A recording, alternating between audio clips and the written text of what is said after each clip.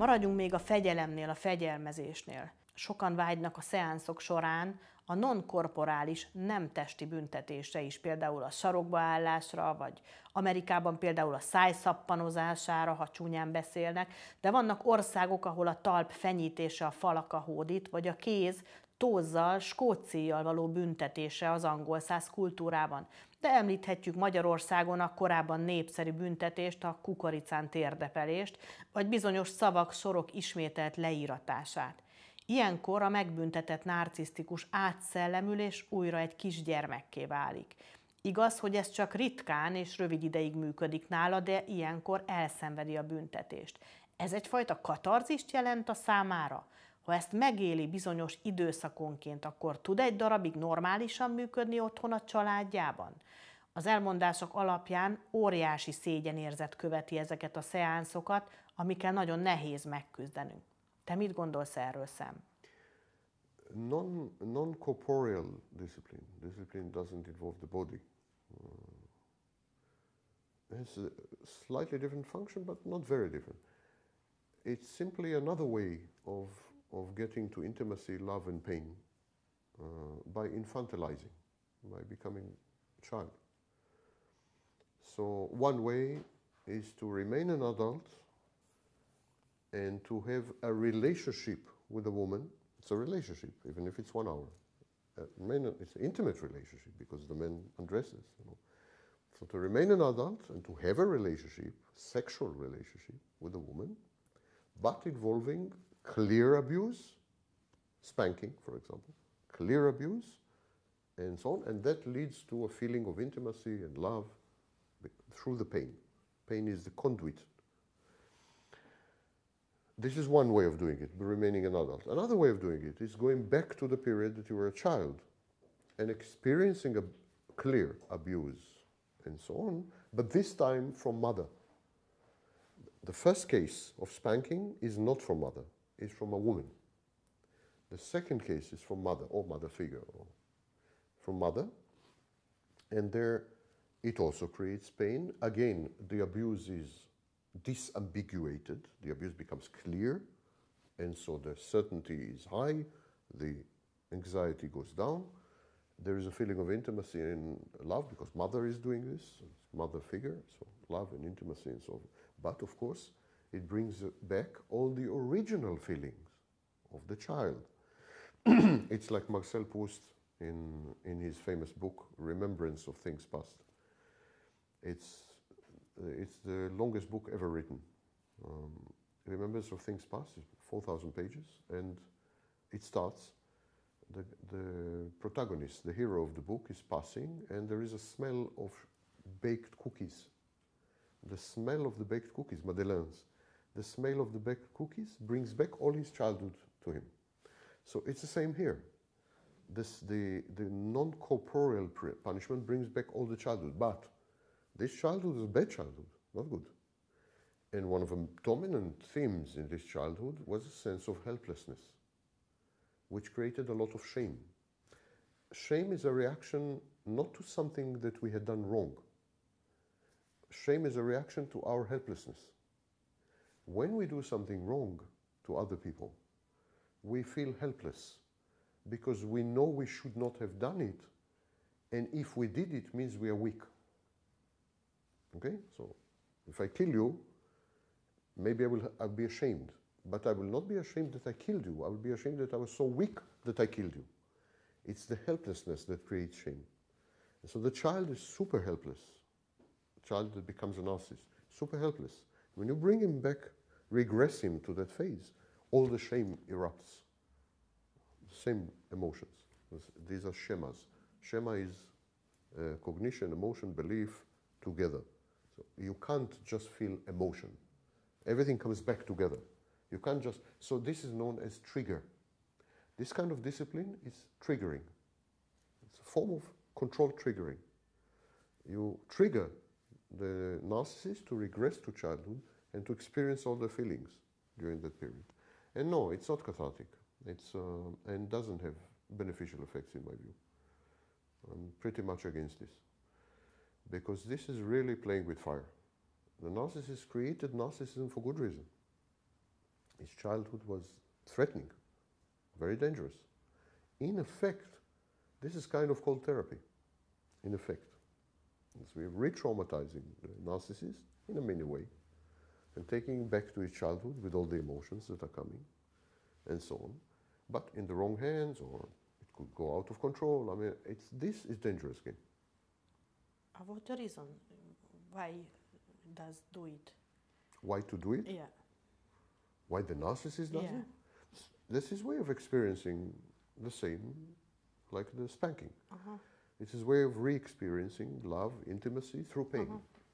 But it's a dangerous way, Aha, okay. dangerous way to experience. It looks less dangerous than spanking, but it's not true. It's much more dangerous. Okay. A BDSM coaching tanulmányaim során azt tanultam, hogy a BDSM szeánszoknak is van egy hormonális utóhatása, ugyanúgy, mint bármilyen más tudatmódosító szernek, például a drognak.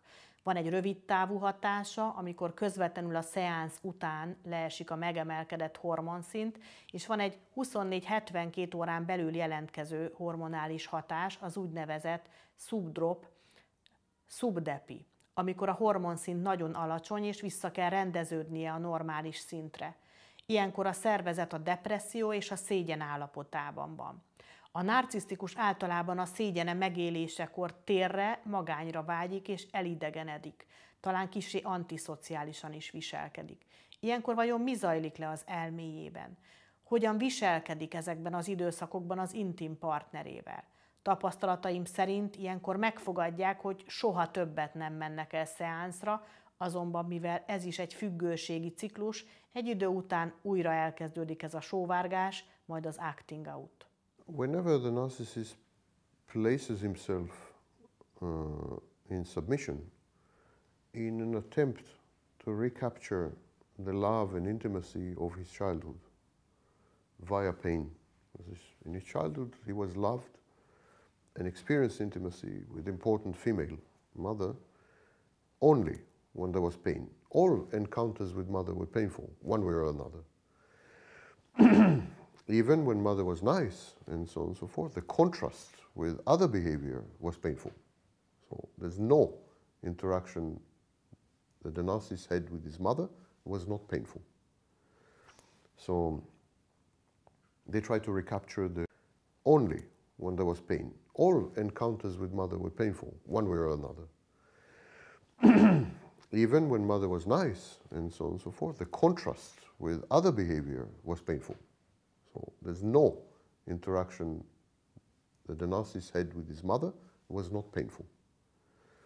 So they tried to recapture the love and intimacy, which was oceanic love and intimacy, because mother's love is infinite, unconditional, not like other women's love. It's total love, it's infinite love.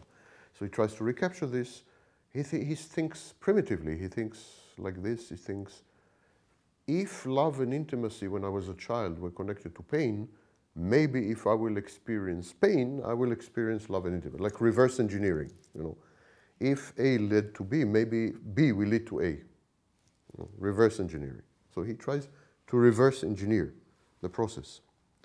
And, but um, as we said, when he regresses to these uh, stages via submission and so on, he also experiences all the emotions which were connected to these stages. They come up. And the most, dominant one was probably shame at his helplessness. Uh, a lot of anger at the parent, but this anger could not be felt. Children are not allowed to be angry at the parent. So instead, this anger was internalized. He, he, was, he did not allow himself to externalize his anger to the abusive parent. He internalized the anger. Now, of course, internalized anger is good definition of depression. So the child was depressive on the one hand, and on the other hand, experienced severe shame because he was not able to help himself. He was helpless. And these emotions come up during submission, discipline, and so on. This is why extremely few narcissists, if any, are subs. Because in the general population, in general population, actually majority are subs. In the 15% of population in the United States which practice BDSM, um, majority are subs, not DOMs. DOMs are pretty few. But in narcissism, it's exactly opposite. Majority are DOMs. Extremely few are subs. Because su to be sub is life-threatening. Is to experience ex such extreme shame and such extreme depression that could easily lead to suicidal ideation and so on. At that point, the narcissist needs to isolate himself. And you can ask yourself why. Because of the risk that he will, that he will not be able to obtain narcissistic supply. He is anyhow in very bad shape. He has experienced shame, he is experiencing depression. If he also goes out to the world and is rejected and cannot obtain supply, so he will then die. He will commit suicide. He knows it. So he's removing the only source of anxiety and only source of collapse and failure. He's removing that by isolating himself so that he can cope somehow with the shame and depression. Paradoxically or ironically or whatever, after some period of isolation, schizoid phase, the narcissist then wakes up and seeks narcissistic supply needs, needs supply, so it goes out. So narcissists have these cycles. They experience shame and humiliation, especially those who practice submission or, or involved in discipline. Or they experience um, shame and humiliation, then they, they withdraw, avoidant, they become schizoid, but then they become super uh, social, gregarious it's called. They become super social because they play the numbers game. They meet millions of people in order for, to find some source, some supply. And that goes for the somatic as well.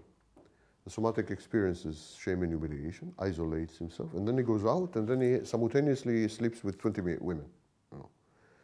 Um, and we have this, these periods of hunger and gluttony, abstinence and in cerebral and in somatic, very dysregulated. And why a lot of narcissists tells us that have a nice childhood, beautiful childhood? No narcissist had a beautiful childhood. No such thing. Simply no such thing. What they identify as beautiful childhood was very abusive. So I explained yesterday, for example, a mother who spoils her child is abusing him.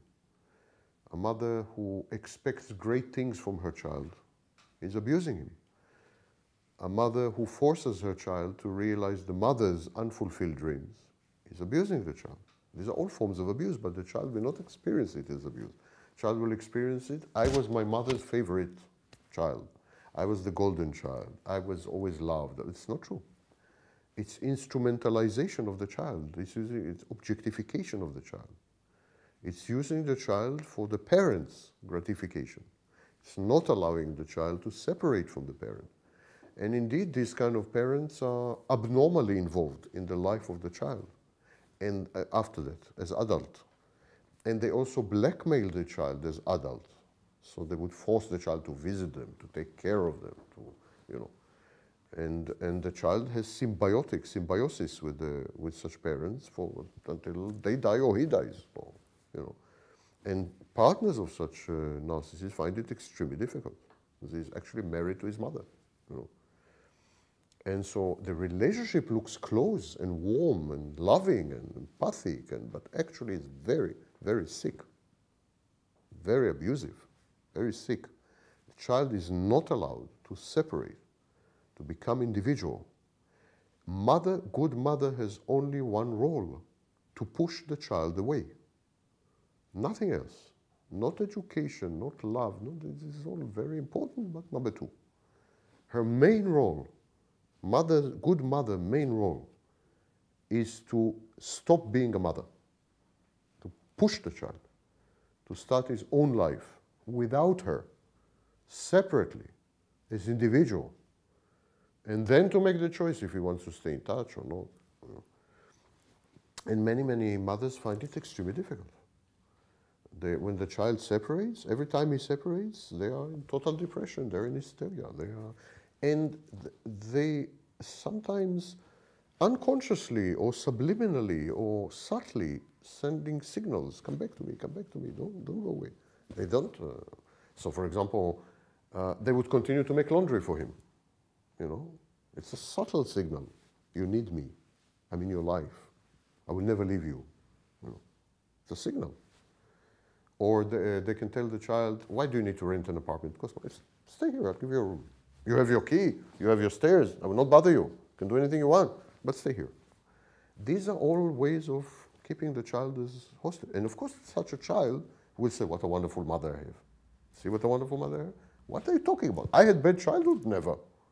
My mother loved me more than anything in the world. To this very day, she makes laundry. To this very day, she makes my food. To this very day, she cleans my room. I mean, what bigger love than this can be? It's, it's totally sick.